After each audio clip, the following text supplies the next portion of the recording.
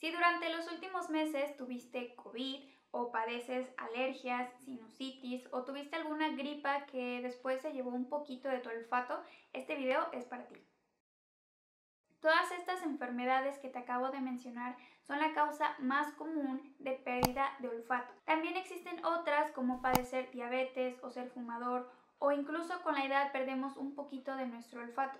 Sin embargo, esto no es algo con lo que ya te tengas que resignar, con lo que tengas que vivir. Existen ciertas cosas que puedes hacer para mejorar tu olfato. Y una de estas es la terapia olfatoria.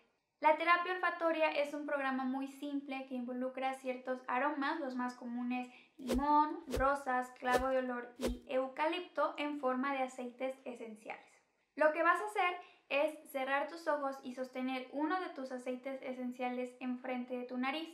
Después vas a inhalar e intentar identificar o recordar cuál es el aroma que estás oliendo. Una vez que lo hayas identificado, lo vas a dejar de lado, descansas 10 segundos y después lo vuelves a intentar con otro de los aceites esenciales y así hasta que hayas terminado con los cuatro. Esta actividad se debe realizar varias veces al día y por lo menos durante 3 o 6 meses. También puedes añadir más olores o cambiar los cuatro iniciales, pero una vez que ya hayas trabajado con ellos de 1 a 3 meses.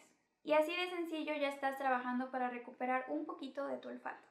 Los científicos creen que esta terapia olfatoria reorganiza las conexiones en nuestro cerebro a través de un proceso que se llama neuroplasticidad, pero aún no se sabe a ciencia cierta por qué es que funciona, pero funciona y eso es lo que importa.